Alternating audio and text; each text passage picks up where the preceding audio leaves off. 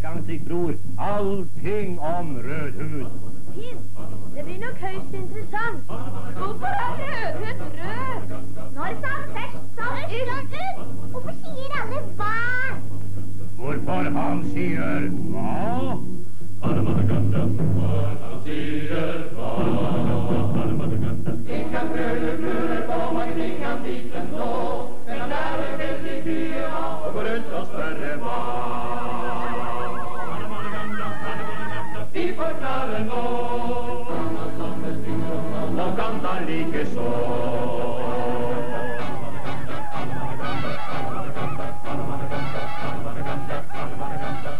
Gå nikkstanse.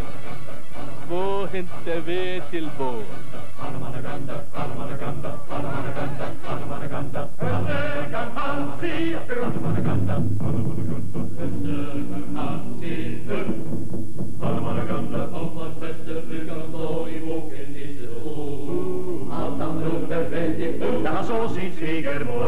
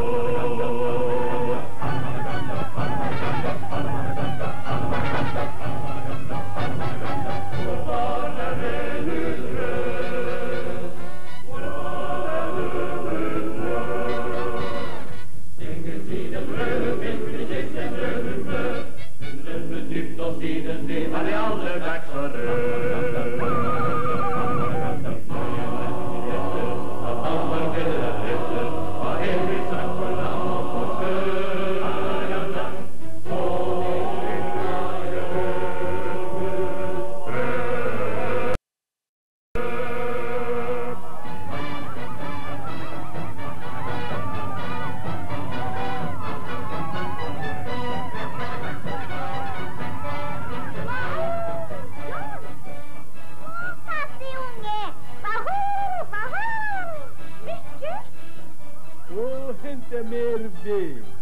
Gå og hente mer ved. Skvåg, gå hjem.